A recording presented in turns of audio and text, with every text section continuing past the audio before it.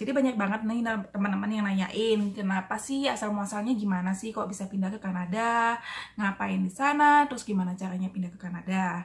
Um, jadi asal muasalnya sih karena Hey guys, welcome back to my YouTube channel. So today I'm gonna talk about immigrate to Canada. Uh, but today I'm gonna talk in Indonesia because I have a lot of Indonesian friends chatting and asking me uh, to, to, speak in Indonesia specifically because uh, I think it will be easier for them to understand what I'm saying. But I will put the subtitle here so you can understand what I'm saying as well. Um, so Uh, jadi banyak banget nih teman-teman yang nanyain kenapa sih asal muasalnya gimana sih kok bisa pindah ke Kanada, ngapain di sana, terus gimana caranya pindah ke Kanada. Um, jadi asal muasalnya sih karena uh, ini kayak cita-cita waktu masa kecil kali ya. Jadi kalau misalnya lihat film tuh di luar negeri, kok kayaknya asik banget ya uh, tinggal di luar negeri ya kan. Uh, keren gitu kan. Abis itu uh, kayaknya tinggal di luar negeri tuh tinggal di negara maju ya kan. Abis itu uh, landscape-nya bagus, abis itu uh, beautiful countries ya kan. Abis itu kelihatannya juga nggak ada korupsinya, abis itu juga ada saljunya ya toh dibandingin di Indonesia yang panas banget gitu kan. Um, jadi waktu itu kayak aku kayak set my dream gitu. Jadi aku tuh waktu kecil jadi kayak cita-citanya pengen tinggalnya di luar negeri gitu kan. Uh, abis itu uh, moving forward, uh, kayak waktu itu juga nggak uh, pernah bener-bener sampai uh, serius waktu udah gedenya kan uh, mau ke luar negeri. Tapi waktu aku sudah habis merit sekitar beberapa bulan kemudian uh, all a sudden kita tuh kayak ngambil keputusan ayo moving ke luar negeri gitu kan. Jadi asal muasalnya sih uh, maunya pindah ke US gitu kan. Cuman waktu itu kita tahu banget kalau ke US tuh agak susah gitu loh. Mau secara imigrasi itu susah mau dapat visa susah mau dapat working permit atau study permit juga susah gitu kan. Jadi kayaknya aduh gimana ya caranya ya gitu ya. Jadi kita cari tahu eh ternyata kalau di Kanada tuh uh, lebih gampang gitu kan, lebih gampang untuk imigratnya kan. Abis itu kalau misalnya lewat jalur sekolah, uh, kalau misalnya salah satu suami atau istri sekolah, salah satunya lagi tuh bisa dapat working permit. Jadi itu benefit banget kalau misalnya kalian itu suami istri ya kan. Nah, jadi waktu itu akhirnya kita mutusin uh, kita keluar negerinya ke Kanada aja. Jadi aku yang sekolah duluan, abis itu suami bekerja karena dia bisa dapat working permit secara legal. Nah, persiapannya kalau mau ke Kanada itu uh, cukup cepat sih waktu itu uh, dari kita ngambil keputusan sekitar Januari 2014 kan. Abis itu kita benar-benar sudah sampai di Kanadanya April 2014 jadi nggak lama-lama amat sih. Itu prosesnya dari apply sekolah apply visa terus nyampe sini gitu kan. Jadi selama persiapan itu kita juga sambil cari-cari tempat tinggal segala macem. Nah banyak sih uh, kalau di sini memang agak susah kalau mau cari tempat tinggal generally speaking ya. Uh, soalnya kalau misalnya cari tempat tinggal di sini tuh uh, gimana ya landlordnya tuh kayak rempong lah pokoknya gitu loh. Jadi uh, suka minta kayak background check minta kadang ada juga yang minta cek satu tahun di depan ya kan minta status segala macem. Habis itu uh, ada juga nih waktu selama bantuin temen tuh juga temennya pas mau pindah sini uh, dimintain rekening bank uh, bukan rekening bank sih kayak cek ya cek selama setahun di depan ya kan. Tapi ketika mau buka bank rekening bank di sini dimintain alamat. Nah sedangkan nggak punya alamat juga kan karena mau apply tempat tinggal harus punya rekening gitu kan. Jadi kayak buat si malakama juga gitu. Jadi kayak nggak nggak jelas mau gimana gitu kan. Nah tapi memang puji Tuhan banget waktu kita mau pindah sini tuh uh, memang semuanya dilancarin gitu loh uh, jalannya tuh. Jadi kita tuh pas mau pindah sini aku cari-cari di Craigslist aja sih mestinya. Jadi kayak uh, itu kayak listingan banyak listingan untuk orang jual beli segala macam kan. Uh, bisa juga kayak lewat Kijiji segala macam nah waktu itu kebetulan aku lewat Craigslist. Aku kontak orang um, aku bilang aku mau ke sana tanggal segini gitu kan. Abis itu uh, tapi aku nggak mau bayar down payment. Biasanya orangnya di sini min selalu minta down payment gitu loh. Nah kok ya kebetulan orang ini ya oke oke aja gitu. dia bilang kalau misalnya kamu pegang omongan kamu untuk datang sini tanggal segitu aku juga bakal pegang omongan aku untuk uh, keep ruangannya itu untuk kamu gitu kan. Jadi uh, ya udah gitu aja sih. Jadi tanpa down payment segala macam gitu loh. Um, habis itu udah nyampe di sini kan um, aku sekolah gitu kan ceritanya. Jadi sekolahnya tuh ngambilnya pertama tuh ngambil English program dulu gitu. Jadi kalau misalnya di sini kan kalau mau sekolah pasti harus pakai bahasa Inggris gitu kan. Jadi terus habis itu dari Inggris habis itu sekolah. Nah Inggrisnya itu uh, macam-macam. Itu tergantung dari programnya yang kamu mau ambil. Kalau misalnya kamu mau ambil diploma itu biasanya Inggrisnya agak lebih gampang. Habis itu kalau misalnya college uh, atau university itu juga beda lagi, terus programnya juga beda-beda lagi kan. Nah kebetulan yang aku ambil waktu itu aku mau ngambilnya postgraduate, jadi uh, Englishnya agak lebih tinggi sedikit dibandingkan ngambil diploma, tapi agak lebih rendah dibandingkan ngambil university gitu loh. Nah Englishnya waktu itu pas aku ngambil ngambilnya langsung di sekolahnya langsung banyak juga sih yang nanyain kenapa kok ngambil Inggrisnya nggak diambil di Indonesia aja? Kan lebih murah. Iya bener banget. Kalau ngambil Inggris di Indonesia memang lebih murah. Tapi uh, memang setiap orang personal opinion ya beda-beda. Jadi kalau menurut aku karena sekolah di sini kalau Inggrisnya tuh lebih intensif. Jadi kalau misalnya di sini tuh waktu tuh pas yang aku ambil itu Senin sampai Jumat gitu loh. Dari pagi sampai malam. Udah dari pagi sampai malam habis tuh malamnya masih ada tugas lagi, besoknya masih ada ujian lagi gitu loh. Jadi bener-bener digembleng banget loh uh, sekolah sekolah Inggrisnya gitu kan. Um, kalau dibandingkan di Indonesia, aku nggak tahu ya. Kalau nggak salah, setahu aku sih seminggu paling dua kali ya. Uh, mungkin yang intensif juga ada yang mungkin seminggu lima kali Uh, tapi mungkin per kali datang cuma dua jam. Nah, sedangkan di sini tuh bener-bener dari pagi sampai sore gitu loh dengan topik yang berbeda-beda, dengan cara yang berbeda-beda juga kan programnya untuk Inggrisnya tuh jadi bener-bener gembleng banget. Hmm. Nah, terus dari Inggrisnya sendiri itu uh, setiap sekolah beda-beda. Kalau yang di sekolah aku waktu itu ada 8 level.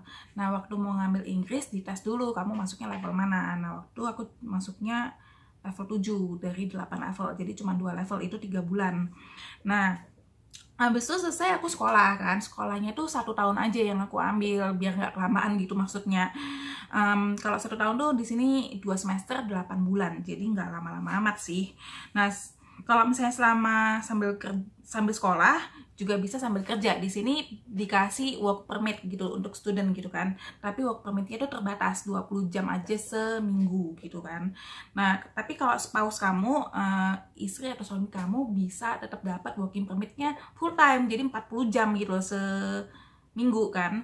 Nah, waktu itu uh, saat kita datang sih minimum wage-nya itu 10,25 per jam Nah, kalau sekarang sih lumayan ya 14 dolar per jamnya gitu loh. Um, kalau misalnya let's say kalau kamu dapatnya yang minimum wage ya. Kalau misalnya bisa dapat 40 jam kerja uh, untuk spouse kamu tuh misalnya itu kalau aku kalkulate uh, sekitar 560 dolar per minggunya ya kan kalau misalnya sebulan berarti bisa dapat 2240 kalau misalnya dari kamunya uh, misalnya kamu studentnya kan itu kan cuma 20 jam. 20 jam kalau sekarang 14 kali 20 itu 280 per minggu. Jadi misalnya sebulan bisa dapat uh, 1120 kan. Nah lumayan sih jadinya. Um, jadi ya buat bisa bantu-bantu buat bayar uang sekolah juga atau misalnya buat biaya hidup di sini kan um, memang sih di sini biaya hidup sama uang sekolah nggak murah juga gitu loh. Uh, tapi lumayan membantu gitu. Ini ya kalau misalnya aku calculate um, untuk misalnya spouse kamu dapat 40 jam working permit uh, full time sama kamu 20 jam kerja bisa dapat um, berapa nih? 3360 per bulannya. Uh, tapi belum potong pajak ya. Tapi ya lumayan banget sih uh, bisa bantu-bantu untuk biaya hidup biaya, uh, untuk nambah-nambah uang sekolah juga kan. Uh, sekarang masih lumayan uh, minimum wage-nya lumayan tinggi. Kalau misalnya dibandingkan dulu aku datang cuma 10 dolar 25 lumayan terseok-seok sih guys. Um, anyway mari kita bicarakan lagi tentang biaya hidup dan lain-lainnya di video selanjutnya aja ya jadi kan waktu itu aku sekolah, karena aku sekolah, aku lulus, aku bisa dapat working permit. Nah, kalau di sini itu working permit itu, jadi kalau misalnya kamu sekolahnya satu tahun, kamu dapat working permitnya satu tahun. Kalau kamu sekolahnya dua tahun, working permit kamu dapatnya tiga tahun. Jadi bukan dua tahun gitu loh. Nah, tapi kebetulan waktu itu memang aku sekolahnya cuma setahun. Maksudnya sih supaya hemat ongkos gitu kan, hemat ongkos sekolah. Sekolahnya mahal di sini guys. Tapi karena aku sekolahnya cuma setahun, working permit aku kan cuma dapat setahun. Nah kalau kamu misalnya single memang lebih disarankan kamu tuh sekolahnya 2 tahun. Jadi supaya kamu dapat working permitnya tiga tahun kan. Jadi punya waktu cukup gitu loh. Uh, kalau misalnya kamu tuh mau ngeplay PR atau permanent residence di sini. Nah, karena di sini permanent residence itu kamu uh, kan berdasarkan poin-poin skor-skornya. Nah, itu salah satunya yang tinggi itu selain English skill juga Canadian Working Experience alias uh, pengalaman kerja di Kanada ya kan. Nah, jadi kalau di sini tuh pengalaman kerja yang dinilai itu minimum setahun di sini tuh. Baru nilai kamu agak lumayan untuk apply PR. Nah, kalau misalnya kamu punya pengalaman kerja 2 tahun agak lebih tinggi lagi gitu kan. Nah, tapi karena di sini tuh cari kerja kan juga nggak gampang guys. Nah kalau misalnya kamu tuh punya working permitnya setahun, memang kebanyakan sih nggak cukup gitu loh waktunya. Karena dari cari kerjanya aja sudah berapa bulan gitu kan. Memang kebanyakan sih teman-teman aku tuh yang cuma dapat working permit satu tahun, nggak bisa dapat kerja di sini. Jadi uh, kebanyakan dari mereka pulang gitu loh ke negaranya masing-masing. Nah puji Tuhannya waktu itu aku sih dapat kerja lumayan cepat, tapi uh, at some point kayaknya memang aku butuh perpanjangan waktu satu atau dua bulan lagi lah waktu itu kurang, kurang lebih. Jadi waktu itu aku sekitar kerjanya sekitar 10 bulan. Eh aku kurang sebulan lagi loh. Working permit aku mau habis. Nah sedangkan mau ngeplay PR kan nggak bisa gitu kan karena poin aku kurang cukup kan waktu itu. Jadi akhirnya aku akalin suami aku aku suruh sekolah lagi gitu loh. Jadi kalau misalnya suami aku sekolah uh, aku kan dapat working permit lagi kan? Uh, jadi perpanjangan kan karena kayak uh, kayak yang tadi kayak waktu di awal lagi uh, aku sekolah dia yang dapat working permit. Jadi sekarang dia yang sekolah aku yang dapat working permit gitu loh. Nah tinggal dibalik aja sih. Nah jadi waktu itu dia sekolah satu tahun aku dapat working permit setahun. Kalau misalnya dia lulus sekolah dapat working permit setahun lagi aku dapat working permit setahun lagi. Jadi totalnya tiga tahun juga gitu loh. Cuman memang karena waktu itu aku cuma butuh perpanjangan waktu cuma sebulan dua bulan akhirnya waktu selama dia sekolah aku sudah bisa ngeplay work, uh, permainan residen gitu loh. Nah nah bagian yang paling menarik nih uh, banyak yang nanyain juga gimana sih caranya nge-apply PR permanent resident di Kanada ini. Nah, jalurnya di sini banyak banget karena memang government di sini support banget untuk uh, imigran ya. Um, jadi ada yang namanya express entry, abis itu uh, ada juga yang self employed atau bisnis. Kalau misalnya kamu mau buka bisnis di sini, kamu bisa nge-apply visa bisnis. Uh, abis itu ada juga yang namanya family sponsorship. Nah, tapi family sponsorship itu biasanya sih uh, dari orang tua yang misalnya sponsor anaknya atau anaknya yang sponsor orang tuanya uh, aku nggak pernah dengar sih kalau misalnya kamu sponsorin sibling itu biasanya sih nggak bisa atau saudara tuh nggak bisa uh, it, kalau misalnya kamu punya saudara yang ada di Kanada, memang kamu bisa dapat poin khusus di situ. Tapi poinnya nggak tinggi-tinggi amat. Aku kurang tahu berapa, kalau nggak salah sekitar 5 atau 10 poin gitu kan. Dari beratus-ratus poin yang kamu butuhkan untuk eligible apply. Nah, ada juga yang namanya jalurnya PSW itu PSW itu personal support worker. Nah itu sih biasanya ada sekolahnya sendiri. Itu seperti jagain orang tua atau jagain disable people ya. Jadi orang yang cacat gitu kan. Di uh, biasanya habis itu dari bosnya itu yang sponsorin. Nah tapi lebih detailnya lagi aku kurang jelas juga gimana karena aku nggak lewat jalur itu. Um, terus uh, ada juga yang namanya jalur refugee. Nah refugee itu kalau aku sih nggak saranin ya guys. Soalnya kan refugee itu biasanya jelek-jelekin negara gitu kan. Jadi jelek-jelekin Indonesia gitu. Jadi kalau aku sih nggak nggak saranin banget kita harus cinta Indonesia uh, balik lagi yang tadi aku sebutin express entry. Nah express entry itu ada dua macam. Nah itu yang satunya CEC itu Canadian Experience Class.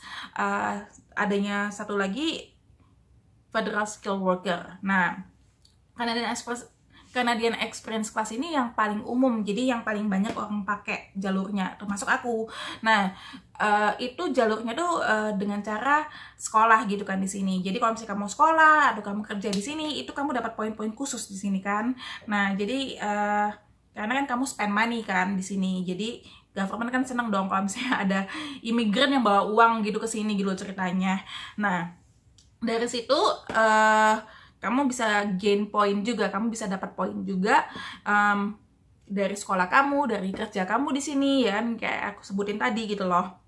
Nah uh, terus abis itu yang satunya lagi yang namanya federal skill worker itu banyak juga orang yang dapat PR uh, tanpa sekolah atau kerja di sini gitu loh. Salah satu caranya ya Inggrisnya harus bagus banget gitu loh. Jadi uh, kalau misalnya kalian lihat tuh ya di link government, uh, mereka banyak juga yang invite orang-orang yang untuk ngeplay PR di sini karena Inggrisnya mereka tinggi banget. Jadi uh, mungkin dari governmentnya mikirnya, oh uh, karena Inggris kamu bagus, kemungkinannya untuk dapat kerja di sini nggak sulit gitu loh. Um, tapi biasanya sih memang harus tinggi-tinggi banget gitu kan pokoknya yang paling penting itu nomor satu Inggris apa pun apa pun jawabannya, apa pun caranya, Inggris kamu harus bagus banget di sini tuh. Jadi meskipun kamu lewat jalur CEC, uh, Canadian Experience Class, meskipun kayak aku lewatin, Inggris kamu juga harus tetap dites lagi ketika kamu mau apply PR gitu loh. Dan itu harus cukup tinggi. Nah habis itu uh, faktor kedua lainnya yaitu uh, yang dapat skor lumayan bagus itu lumayan tinggi kalau misalnya kamu punya education background sama working experience di Kanada. Abis itu uh, faktor lainnya yaitu umur sama family member kalau misalnya kamu punya family member di sini. Uh, tapi itu nggak terlalu ngefek sih. Umur tapi lumayan ngefek loh. Kalau misalnya kamu di atas 30 itu uh, poinnya turun terus. Jadi setiap tahun umur kamu nambah, poin kamu turun 5 poin. Tapi kalau misalnya kamu di bawah 30 tahun, mungkin karena dianggap masih produktif kan. Nah, uh, sampai umur 30 kalau nggak salah ya, itu poin kamu naik terus 5 poin setiap tahunnya. Jadi misalnya kamu umur 25 sama umur 30, poin kamu tinggian umur 30 gitu loh. Untuk keterangan lebih lanjutnya, kalian bisa cek di link governmentnya langsung. Aku masukin linknya di deskripsi di bawah ini ya. Uh, itu um, kalau misalnya kamu sudah masukin profil kamu kan ceritanya di PR-nya kamu nanti di invite kalau misalnya memang skor kamu udah tinggi. Nah kalau misalnya sudah di invite, udah disetujui sama government, kamu bisa langsung uh, cek kesehatan, background check, masukin ijazah kamu, pokoknya macam-macam lah yang dokumen yang harus kamu submit. Uh, pokoknya seperti untuk membuktikan kalau yang profil kamu tuh bener yang kamu masukin itu. Nah, jadi uh, sampai sini aja guys. Uh, nanti kita bicarakan tentang Kanada di video-video selanjutnya. Jadi jangan lupa like, comment, dan subscribe for the next video. Bye!